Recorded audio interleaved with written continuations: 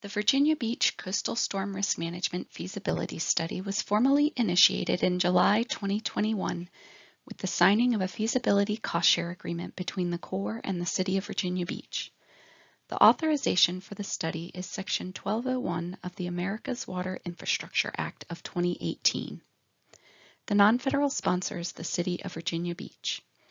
The purpose of this study is to investigate long-term solutions to reduce potential damage and risk to human life, health, and safety caused by coastal storms in the City of Virginia Beach. The study is needed because the City of Virginia Beach is extremely vulnerable to flooding from coastal storm surge, and risk levels and vulnerability are expected to increase as a result of future sea level change. The Corps has a multi-step planning process with numerous key milestones occurring throughout the study. This begins with scoping and defining the planning strategy in early stages, followed by the development of alternatives and subsequent impact analysis, the identification of the tentatively selected plan, followed by optimization and refinement of the tentatively selected plan into a recommended plan. The culmination of the planning process is the selection of the recommended plan and the approval of the plan with the signing of a chief's report. Right now, we are currently in the scoping phase of the study. There will be additional opportunities in the future for the public to participate and comment. To put this into a broader perspective, if the feasibility study phase results in a plan for construction and is approved with the signing of the chief's report, the project must be authorized and funded by Congress and a project partnership agreement executed with the non-federal sponsor before it enters the pre-construction engineering and design phase.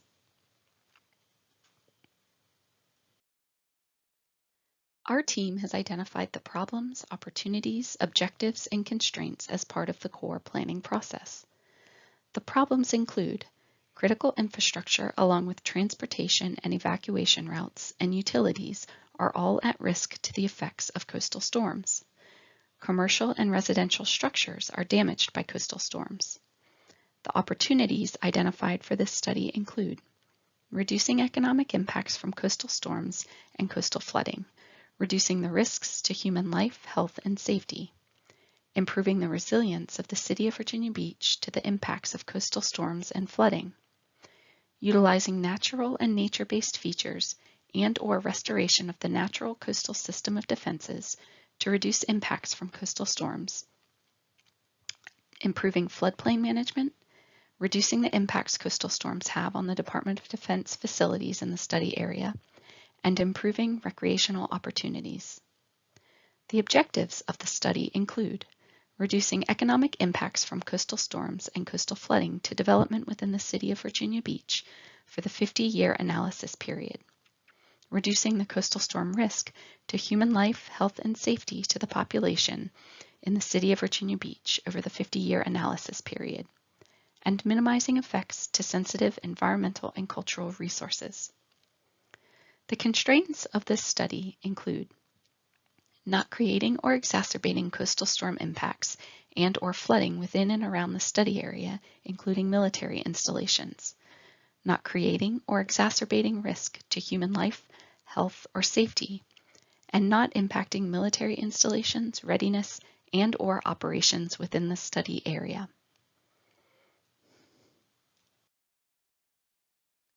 As part of the planning process, there are many different considerations that we must take into account during the study.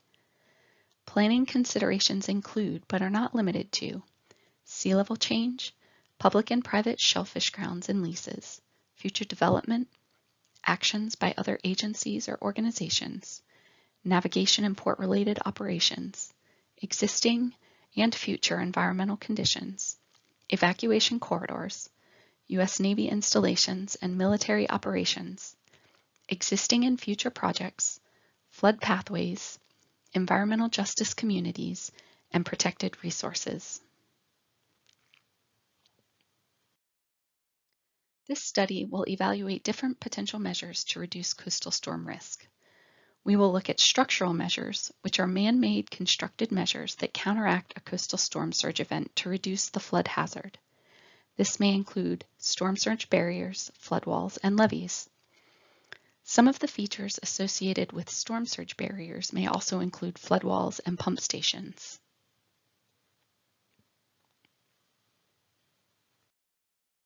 We will also be considering non-structural measures, which are coastal storm risk management measures applied to a structure and or its contents that prevent or provide resistance to damage from flooding.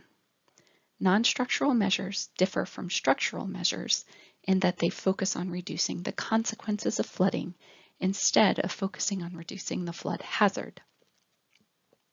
Non-structural coastal storm risk management measures may include elevating residential structures and floodproofing non-residential structures. Dry floodproofing is a non-structural measure that involves making an area watertight so that no water can enter the structure. This can be done with the use of waterproof coatings, impermeable membranes, sealants, and shields or gates applied to doors and windows. Unlike dry floodproofing, wet floodproofing involves allowing water to enter a structure. Wet floodproofing requires structures to be built with materials that are water resistant. As a non-structural measure, a flood warning system often relies upon local stream gauge, rain gauge, and hydrologic computer modeling to determine the impacts of flooding for areas of potential flood risk. A flood warning system, when properly installed and calibrated, is able to identify the amount of time available for residents to implement emergency measures to protect valuables or to evacuate the area during serious flood events. Another potential non-structural measure that may also be considered includes acquisition. Critical infrastructure asset categories that may be included in this study are fire stations, medical facilities, police stations, evacuation centers, wastewater and potable water facilities, and emergency operation centers. Lastly, we will be considering natural and nature-based features as part of this study. Natural and nature-based features work with or restore natural processes with the aim of wave attenuation and storm surge reduction. Some of the natural and nature-based features that we may consider include beach fill, dune enhancement, and breakwater systems, tidal wetland creation and or restoration, and living shorelines, including the potential for incorporation of oyster reef structures as part of living shorelines. We may also look at potential drainage improvements and water storage features as well.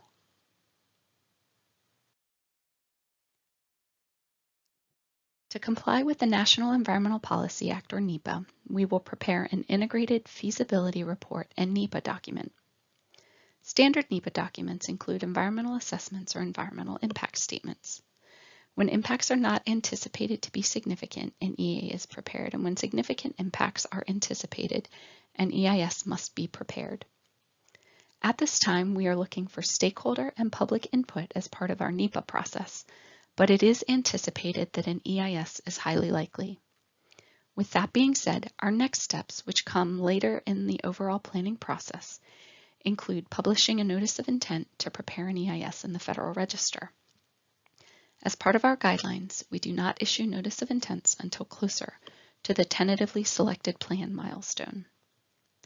It's important to note that this study will follow Corps policies and guidelines for consideration of economic, environmental, cultural, and social impacts.